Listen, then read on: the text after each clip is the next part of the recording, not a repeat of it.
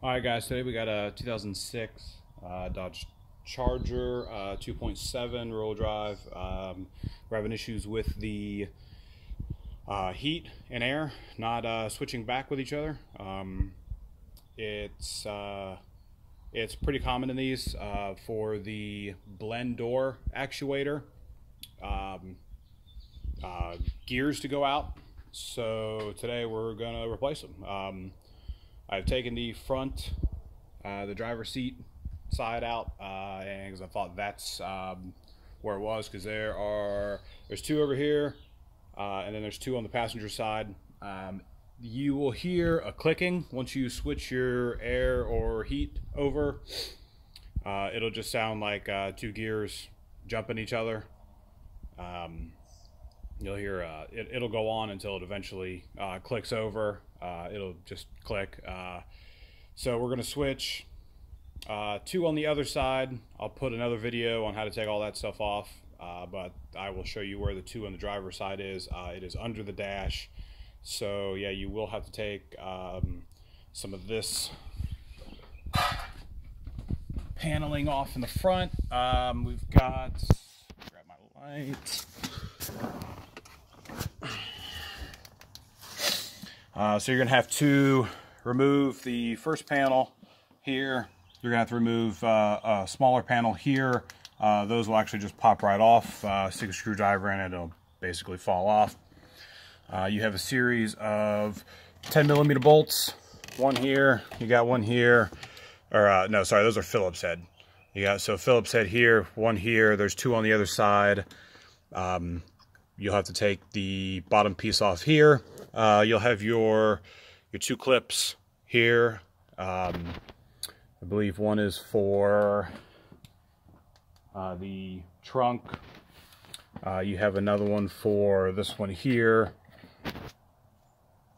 which is your door latch uh, for your hood, and uh, some other smaller ones uh, that just pop right out. Um, after that, you have a plate that's going to sit here do it this way. You got a uh, plate sit here. Uh, these are the 210 millimeter bolts. Uh, the plate is the metal one here. and then you should be able to get to the back of it here.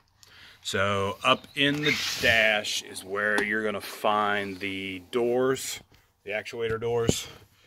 Try to get back here. Here's one of them, pretty simple right here. Uh, there are three eight millimeter bolts. If you can see them all right there. And then the plug there, uh, if you want to take that one out, uh, you, you stick a uh, flathead in there, pop the red tab up, and then it'll uh, just pop right off. Uh, the other one I've actually already taken off because I thought that one was my issue, but it is not. It is on the passenger side, which like I said, I'll make another video on taking all of that stuff off. Uh, but if you think it's the top one, it is, uh, there is where the gear is going to pop into. You'll see the bolts there, where they're going to go into. The 8 millimeter bolts right there. That's where it'll pop up. Um, of course, that was a little harder to get to, but it's not that bad. Uh, I will show you. Here is this one. I thought it was this one, but you can clearly see that the gears, well, there you go, that the gears look pretty good. Uh, here's the newer one. Uh, this one is a universal one, uh, so they are, some of them are, I think one of them is the main door, and the other ones are just uh, switch it over. but when you do take it out, you want to make sure, see if it's missing a tooth there, you want to make sure that that tooth is in the same spot as the one that you took off, missing. um, but you can get this one uh, at AutoZone for, I want to say $25, or like I did, you can go to Rock Auto uh, I believe I paid $16 for it. Uh, they do have this one here, which is uh, the universal one.